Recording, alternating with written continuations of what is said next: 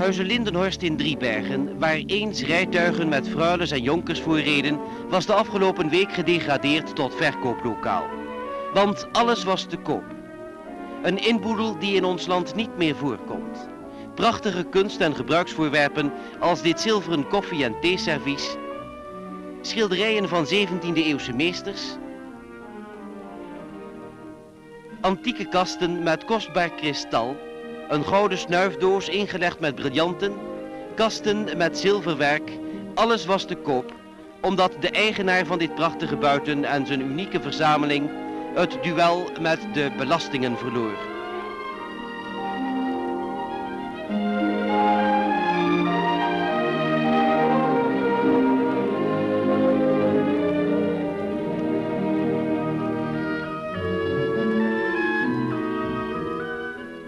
Antiquairs, particulieren en mensen die zomaar zijn binnengelopen bladeren in de Statenbijbel die de geduldige verzamelaar en kunstkenner na lang zoeken aan zijn verzameling kon toevoegen.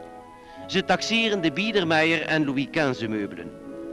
Ze keuren de stof van de gordijnen, want alles moet weg.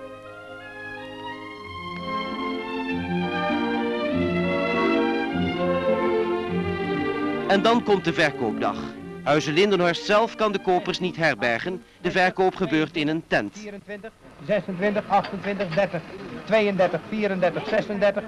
Ja, uitstekend. Twee gekleurde vaten, zeer mooi. 160, 160 gulden. Niemand meer dan 160 gulden. 170, 180, 180. 180 gulden. Niemand meer. Meneer Roosevelt. Roosevelt. 875 gulden. Niemand meer dan 875 gulden. Niemand? Van meneer Van Velzen. Meneer Van Velzen, 875.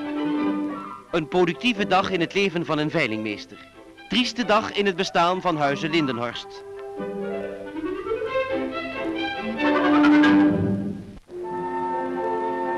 Nee, dit is niet Wenen. Het is Den Haag. Geen balzaal, maar een overdekte ijsbaan.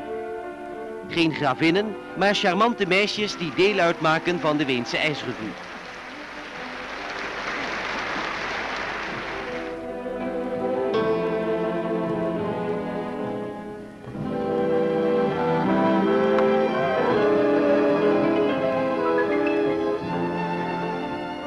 Het is langzamerhand traditie geworden dat de Weense ijsrevue naar Nederland komt. Bij de première zagen we deze beelden voor u. Beelden uit de revue Sylvia, waarvoor de muziek geschreven werd door de bekende operettecomponist en dirigent Robert Stolz.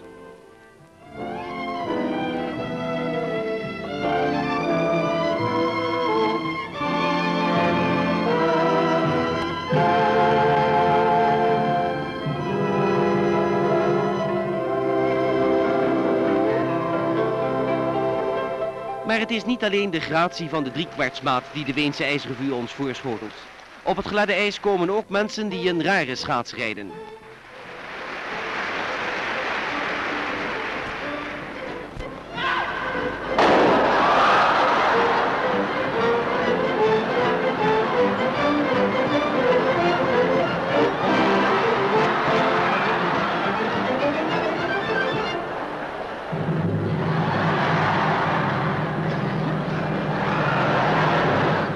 Kortom, een show om eens echt voor te gaan zitten.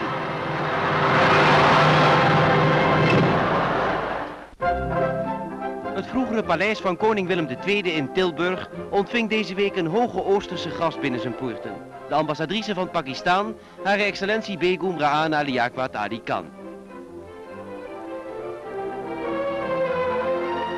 In de ontvangkamer van het paleisraadhuis onderhield ze zich met enkele van haar in Tilburg wonende landgenoten.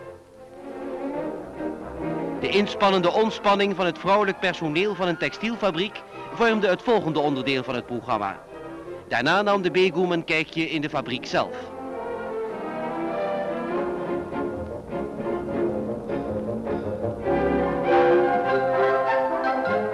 Bijzonder geïnteresseerd was de ambassadrice in de vervaardiging van wollen dekens. Attributen die in haar warme land Pakistan maar zelden worden gebruikt. De trommels van de Afrikaanse negerslaaf gaven Amerika het ritme voor zijn jazz.